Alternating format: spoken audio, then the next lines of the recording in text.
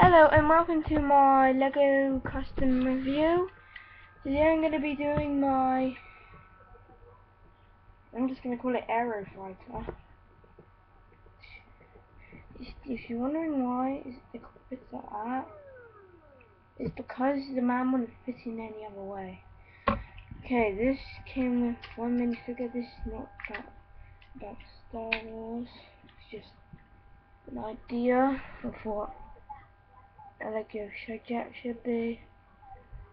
It's very easy to build. It's got flip missions at the bottom, and then I'll do the minifigures now. This is this is Jett. This is what I'm gonna call him. Call him Jett. There's Aero Suit. This is armored.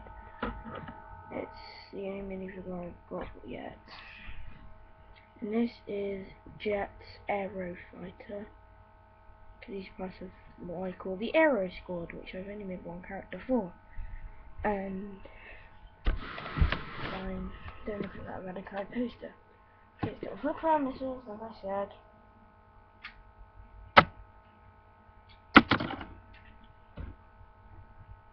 It's got gold ones.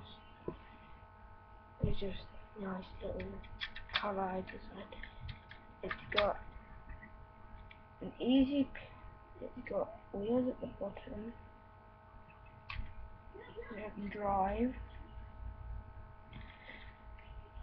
And then, yeah, I was, I'm planning on doing a few walkthroughs of some of these games. So I'm going to do another video in a few minutes or seconds, depends. And I'm going to show you the options and you have to comment and send me messages. Okay, hope you enjoyed my Lego Aero Fighter review and Jett's Aero Fighter. Yeah, he's got the Jett's Aero one. This is the Jett's Aero Squad. He's the commander of the uh, Jett's Aero Fighter. Is he's part of the Rainbow Squad because they all have rainbow cockpits and they have different planes. So I hopefully will be doing a walkthrough, more LEGO reviews coming your way in the future. I will be doing LEGO Wars Somerset.